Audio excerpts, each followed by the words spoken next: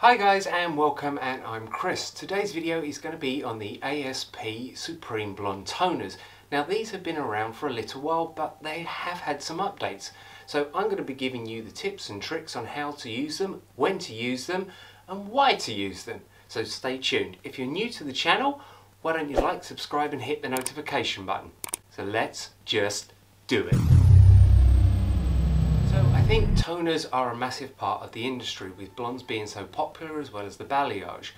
So when do you tone and what toners do you use? Now within the ASP portfolio you can use the converter to convert your colours into toners which is fantastic. However there was always a call for a specific range of toners. So ASP responded to this by launching the Supreme Blonde toners. Now you have different toners that do different jobs within this range you have three toners that have lift and you have five toners that have deposit only. So, so first of all, let's take a look at the three toners that have lift built into them and why we would use these.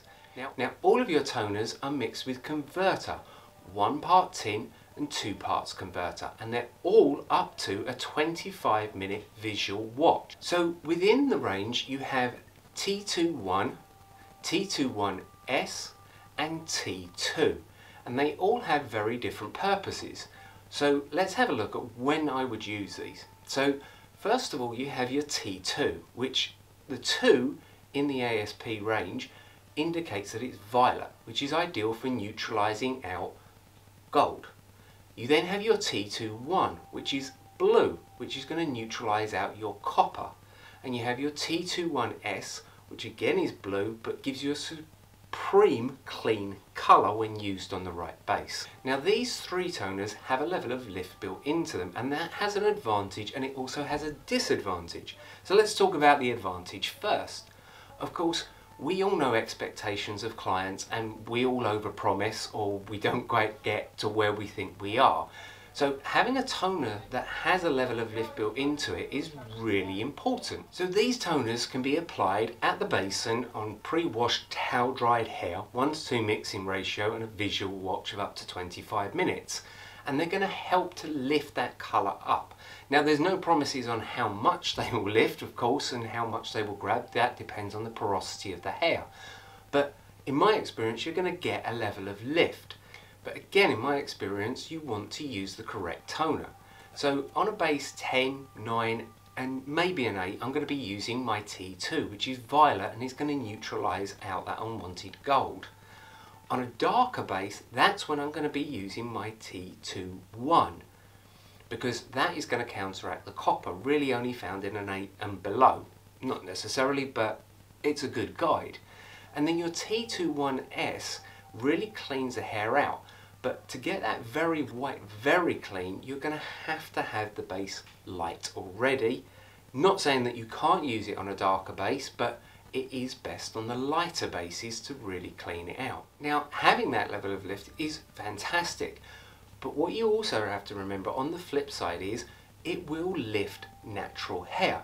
So if you have sections, whether that's highlights, panels, whatever it is, where there is natural hair or other colours that you don't want to touch, having this level of lift built in could be an issue.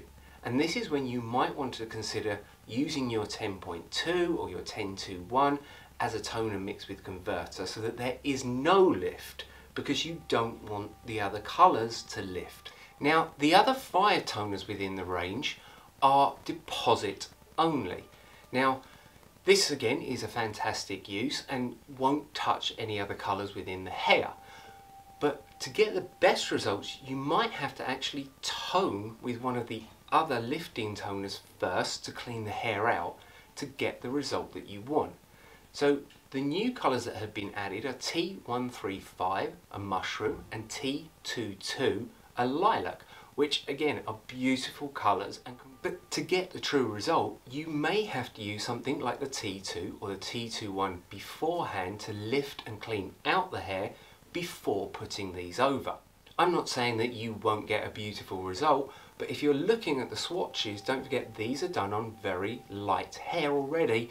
So if you're looking at the swatches wanting to get the result of the T22, then you have to think I've got to get them to at least a clean 10 to achieve that result. And also there's nothing wrong as well with intermixing the toners together to cocktail and personalise to your own client's specific needs. Now personally I like mixing the T3-2 and the T2 together. I find it just slightly takes the edge off of the T2 when the hair can be a little bit dry and porous so I don't get any areas where it grabs too much and find it gives me a softer beigey colour. But again, you can do this and cocktail and mix.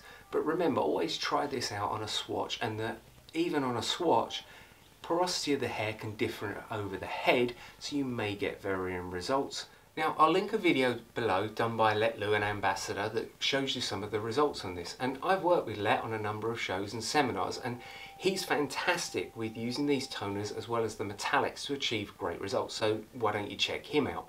So if you've liked this video, don't forget to like, subscribe and hit the notification button, and I'll see you next time.